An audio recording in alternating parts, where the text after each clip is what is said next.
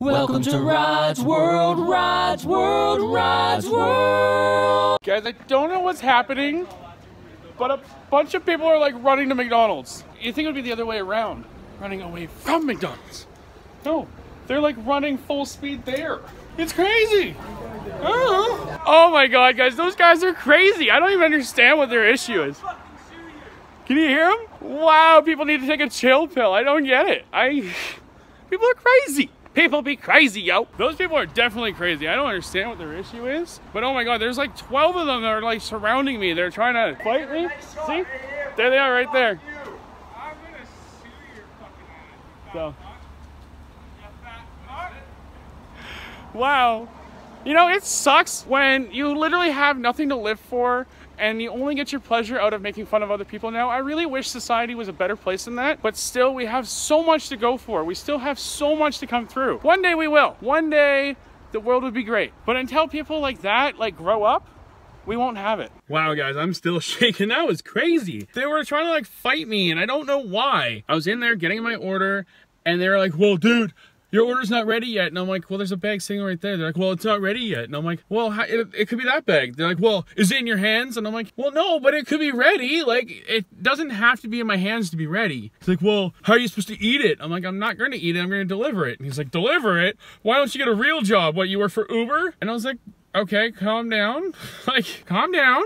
And then all his friends start like clucking and like they all surrounded me and I and I got my bag and I was trying to, I turned around to walk out and they literally formed this line I couldn't get out. And so I, I, I found there was a gap and started walking through the gap. And then the one guy actually stepped into it. I ended up walking through him accidentally and I didn't mean to do that. But you know, I walk through people.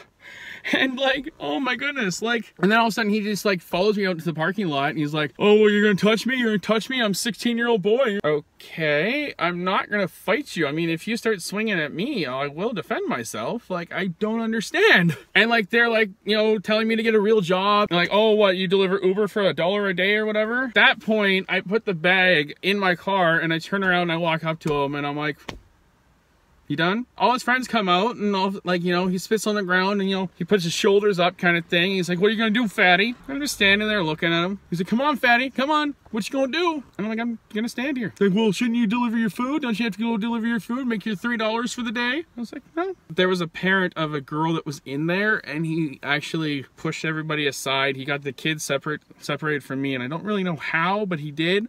And then he came and talked to me. He's like, dude, it's not really worth defending yourself. He's like, I get it, I get it. At the end of the day, they're 16 and I think they're drunk and they just came from some kind of dance thing. You know, they're feeling all high and mighty, so just let them feel high and mighty. But I'm like, I need to defend my honor and, you know, make them to start to realize that, huh, maybe they're in the wrong.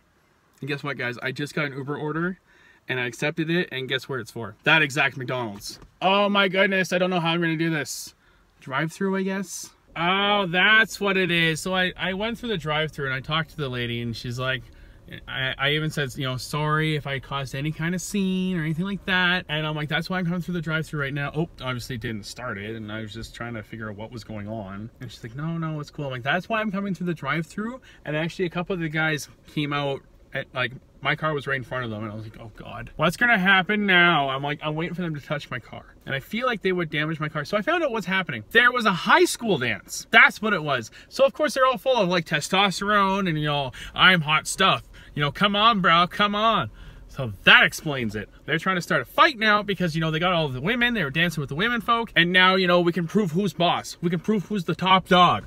Yeah, I'm sorry, you're not gonna win against me. Even though the one had like the teardrop tattoo, I was just trying to get out of there. But I didn't want to like leave right away because I didn't want them to see me in my car to know which car was mine. You know, they're all like full of, you know, cockiness and, you know, testosterone. All the brain cells died away to make room for the testosterone. Gotta love being a teenager.